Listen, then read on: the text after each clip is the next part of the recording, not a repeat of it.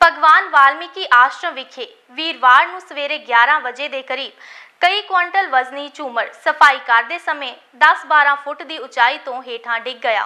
ਗਨੀਮਤ ਰਹੀ ਕਿ ਕੋਈ ਜਾਨੀ ਨੁਕਸਾਨ ਨਹੀਂ ਹੋਇਆ।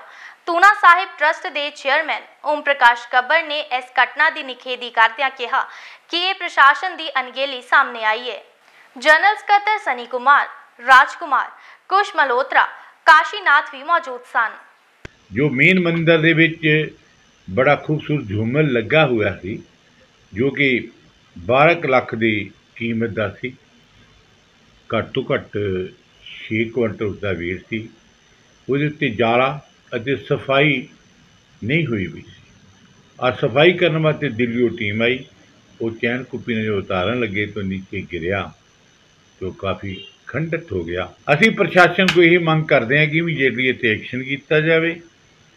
ਜਿਨ੍ਹਾਂ ਦੀ ਲਾਪਰਵਾਹੀ ਉਹਨਾਂ ਤੇ ਐਕਸ਼ਨ ਕਰਕੇ ਉਹਨਾਂ ਨੂੰ ਬਾਹਰ ਕੱਢਿਆ ਜਾਵੇ।